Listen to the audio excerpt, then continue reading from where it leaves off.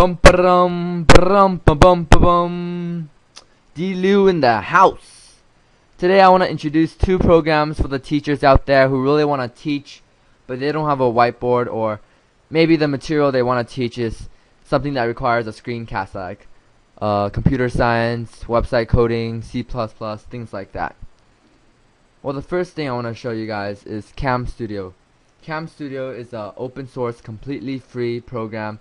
You can download it on camstudio.org.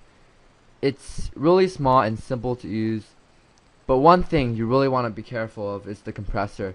By default, it's set to Microsoft Video 1, but you want to put it on something that's better like DivX 6.9.2. I'll put that the download link in the description if you guys want that. And configure. Bitrate. Bitrate determines how big the file is going to be, the video file is going to be, and also the quality of it. So the higher the bitrate, the better quality and bigger file size, and vice versa.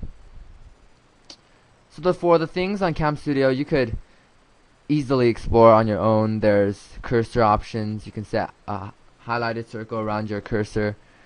And there's uh, keyboard shortcuts, screen annotations. It's really easy to use.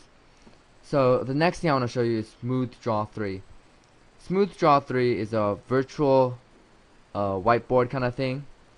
If you want to uh, connect it to a tablet, that's really cool. Or if you just want to show other people how to do a certain drawing on the computer, you could also do that with this program. And uh, one thing that I found really, really exciting was if you set the region on Cam Studio to region, as you see here, since I'm using another video screen recorder right now, I don't want it to conflict. But and you click record, it will let you set the place you want to record. It can be the entire screen or it can be this small section.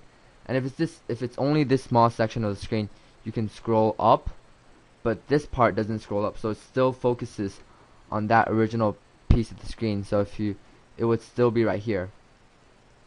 It would always be at that section of your screen.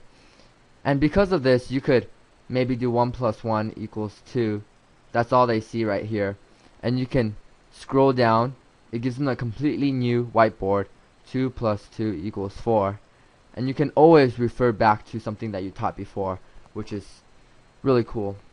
So, that's all I want to show you guys today and I hope you got something from it. Well, D-Lou out!